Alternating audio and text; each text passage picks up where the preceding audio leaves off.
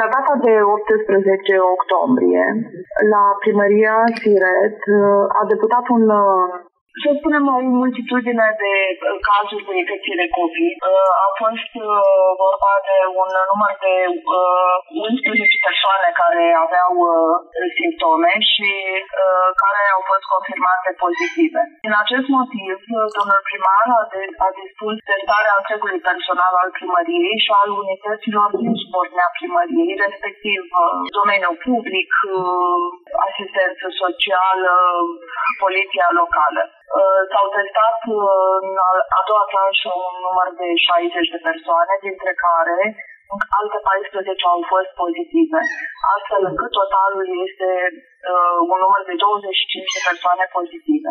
Vestea bună este că uh, aceste persoane au fost uh, evaluate la Spitalul Municipal Rădăuți, starea lor uh, fiind uh, o formă ușoară sau chiar asimptomatică la mulți dintre cei uh, testați în al doilea lot.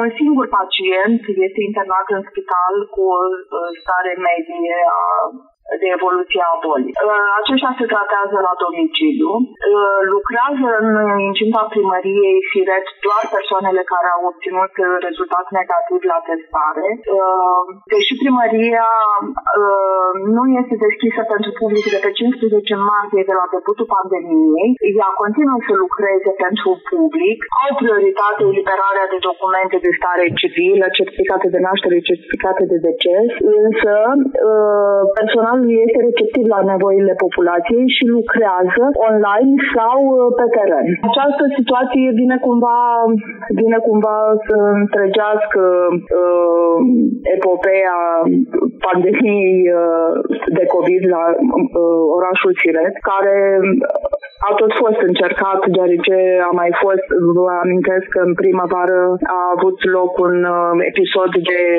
uh, focar de COVID la Spitalul de Psihiatrie Siret.